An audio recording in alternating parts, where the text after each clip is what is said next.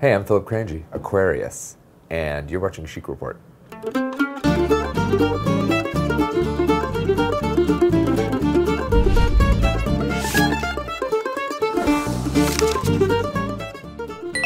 Andre Leon Talley's debut as a judge on America's Next Top Model was full of golden nuggets.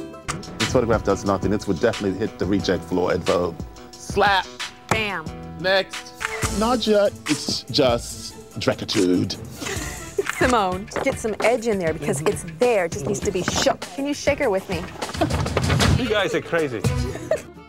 In a revealing interview with Vice, Karl Lagerfeld tells Bruce LaBruce he considers his signature sunglasses his burqa, he's against gay marriage, and he's never voted in his life. The CFDA nominations were announced this week with a few surprises. Alexander Wang is up against MJ and DK in the Women's Wear Designer of the Year category, and Iman is taking home the Fashion Icon Award, beating out suspected nominee Lady Gaga. Oh, better luck next year, Gaga. Looking for a new way to watch Chic Report? Well, consider this $2.2 million TV set. Crafted of solid gold and adorned with 72 diamonds, you deserve it. Designer Philip Crangi has become synonymous with the word jewellery. We hit his studio to play a word association game to see what popped into his head when we said jewellery, Jewelry. Elizabeth Taylor. garbage, My house. woo, Woo. woo, Wow, I don't have a word association with woo. Huh. Sparkles. silver, I don't like silver. Fleetwood Mac, Stevie Nicks, my spirit animal. Lagerfeld, My CFDA award? Kind of looks like him.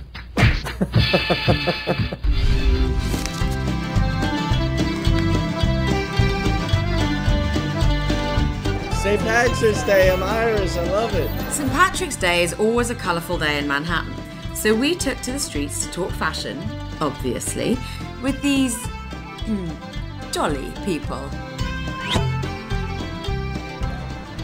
Pamela Anderson. Me? Colin Farrell. Snooki. I'm from Jersey.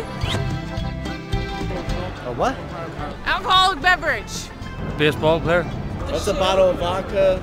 A Karlie Kloss is a uh, Irish car bomb, except you have a shot of vodka in there.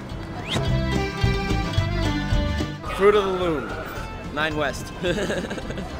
I didn't know you designed for a brand, but I know he does like clothes, handbags, shoes.